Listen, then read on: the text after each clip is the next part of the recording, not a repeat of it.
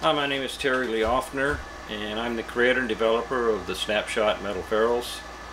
And I want to thank you for visiting my website and for taking an interest in the ferrules.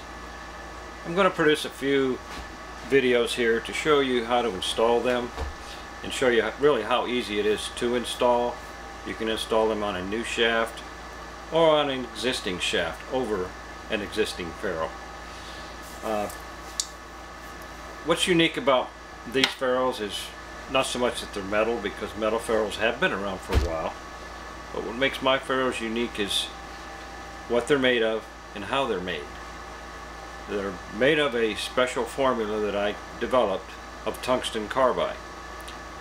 Just so you know a little background, tungsten carbide comes in powder formulas. There are binders in there, there's some other additives that make them unique as far as hardness goes, wear, that kind of thing. So my formula produces a ferrule that is extremely hard, extremely scratch resistant, a ferrule that looks good and that plays good. So once all these powders are put together, they're baked in what's called a sintering oven.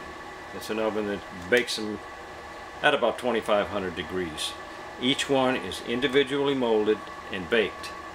After they're cool, they're diamond polished and then laser etched.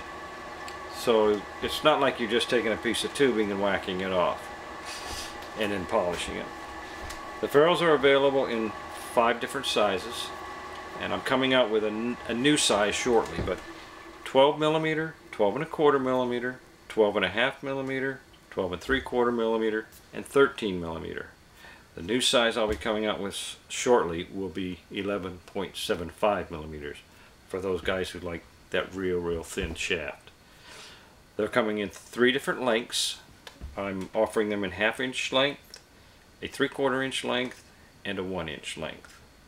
Installing all of these is exactly the same.